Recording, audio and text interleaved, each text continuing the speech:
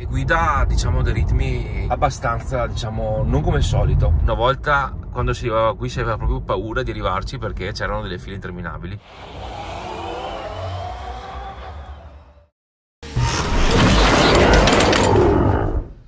Buongiorno ragazzi, oggi nuova prova di autonomia la variante sono le gomme che sono state cambiate, sono state rimesse le gomme diciamo quelle estive. Allora, monto delle Hancock 235-40 R19. Quindi tutte le prove di autonomia fatte nei mesi precedenti erano fatte con gomme invernali e adesso proviamo questa mattina a fare una prova con queste gomme qui. Allora andiamo come sempre a resettare il nostro computer di bordo e questa mattina siamo diretti a Fiume in Croazia. Sono 235 km, 2 ore e 51 minuti. Andiamo a vedere il tragitto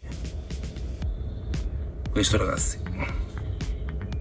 Bene partiamo.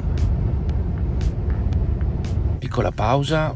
Mancano ancora 87 km c'è un posto da qualche parte. Abbiamo fatto la colazione adesso siamo qui a Cozina guardate ragazzi i prezzi del supercharger si parla di, e qui naturalmente di fasce orarie, da mezzanotte alle 4 siamo a 0,35 centesimi di euro il kilowatt, quindi stiamo parlando della metà di quello che spendiamo noi in Italia. Supercharger di Kozina, Slovenia. Dopo ci fermiamo a fare una bella ricarica. Siamo al 41%, ho consumato abbastanza, abbiamo percorso praticamente 177 km con 37 kWh. Abbiamo consumato un bel po' perché ho dovuto alzare un po' l'andatura in quanto sono in ritardo. Eh sì ragazzi, ormai si arriva senza i controlli, si passa il confine tra Slovenia e Croazia. Appena entrati ci dirigiamo subito al luogo dell'appuntamento come Hancock estive e guida diciamo dei ritmi abbastanza diciamo non come il solito perché appunto devo essere lì alle 10 e mezza e guardate mi dice che arriverò fra 21 minuti quindi alle 10.42 cerchiamo di arrivare puntuali. Quasi arrivati a Fiume. Lì a destra c'è Opatia o Abbazia che è un bellissimo posto da visitare se vi capita siete in zona. Potete fare un giro. E qui ci sono anche diverse colonnine di ricarica in giro eh. quindi tranquilli che non restate pieni peccato che oggi sia una giornata un po' nuvolosa ma vi assicuro che durante l'estate comunque quando ci sono belle giornate è un panorama davvero bellissimo. Siamo proprio a bordo mare. Allora sto rientrando dalla Croazia e non ho fatto ancora il bilancio perché lo farò al supercharger di Cosina approfitterò perché i costi mi sono interessanti per ricaricare ma ancora ragazzi non mi abituo a passare il confine tra Croazia e Slovenia comunque viceversa senza i controlli. Devo dire che una volta quando si arrivava qui si aveva proprio paura di arrivarci perché c'erano delle file interminabili. Invece oggi fortunatamente si può passare anche a così tranquillamente. Fra pochi minuti circa due siamo arrivati al supercharger di Kozina che è a un chilometro e due la batteria è in fase di preriscaldamento quindi in teoria la ricarica dovrebbe essere veloce la batteria è al 14% infatti guardate ragazzi ho, percorso sono partito con il 100% di batteria ho percorso fino adesso 281 km con 55 kWh e una media di 194 Wh per chilometro. Devo dire che sì, non ho lesinato sull'acceleratore proprio perché ero in ritardo. Guarda che strada che c'è qui. Stavo rifacendo tutto e praticamente siamo su una strada bianca. Tornando al discorso che vi facevo poco fa, in pratica quando si corre consuma parecchio. Fate i conti perché ho fatto con l'86% di batteria ho fatto 282 km che non è male, non è male considerando il fatto che comunque non ho lesinato sull'acceleratore. Quindi andiamo a approfittare delle tariffe che ci sono qui Supercharger in Slovenia, magari adesso le vediamo meglio in dettaglio. Poi una volta ricaricato andiamo a trovarci un posticino dove mangiare. Se è aperto, dove vado di solito ragazzi vi faccio vedere dove vado, vediamo anche un po' i prezzi se hanno mantenuto la filosofia oppure se è cambiato qualcosa. E poi eventualmente vi posso lasciare in descrizione o dire anche il posto dove vado a mangiare ogni tanto sostanzialmente andiamo lì per mangiare il pesce. Questo supercharger è fuori dal casino Admiral ce n'è una di austriaca. 14% di batteria sono le 13.24 vediamo. Quanto ci mettiamo per fare la ricarica? Sperando di averla parcheggiata bene perché mi sa che l'ho messa no giusta.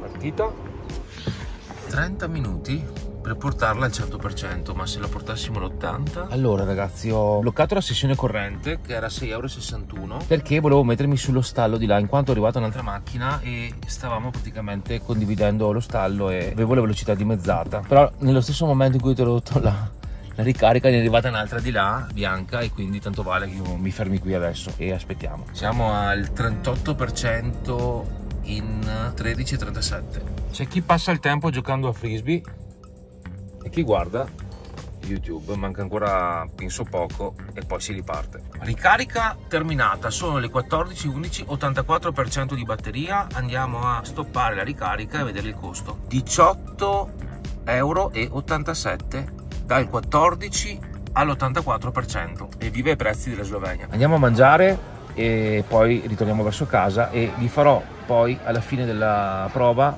un eh, riassunto per quanto riguarda i costi diciamo di questa prova con gomme estive quindi con non più con le gomme termiche che ho tolto qualche giorno fa ma con le gomme estive. Vediamo se cambia qualcosa. Grazie.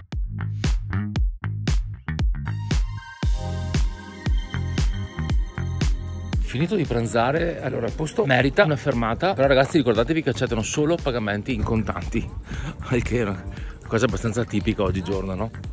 però devo dire che è pieno pieno abbiamo mangiato bene e vale la pena di fare un giro. Allora, abbiamo fatto un giro per uh, la zona qui del porto di Capodistria perché da Kozia, da Supercharger, qui ci sono circa 20 minuti di autostrada e qui ci sono un po' di negozietti, è carino come, ma anche il centro storico di Capodistria è bellino da vedere. Se siete nei pressi potete fare un giro, c'è anche un bellissimo lungomare con tanti localini per bere qualcosa e secondo me un giro ci sta. Bene, siamo appena rientrati, andiamo a vedere quanto abbiamo consumato in termini di kilowatt. Allora, abbiamo percorso oggi 489 km e abbiamo consumato 89 kWh con un, uh, un consumo medio di 182 Wh per chilometro. Beh, beh, diciamo che oggi ho guidato come se avessi guidato una macchina a benzina o a gasolio senza proprio badare a, al consumo energetico. Non mi sono preoccupato di utilizzare la guida. Io devo dire che non è male non è male. Vi lascio alla fine del video il costo sostenuto per fare questi quasi 500 km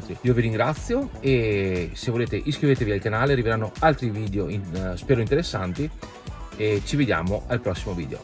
Ciao e grazie. Joy perplesso che mi vede salire in macchina e parlare da solo la sua faccia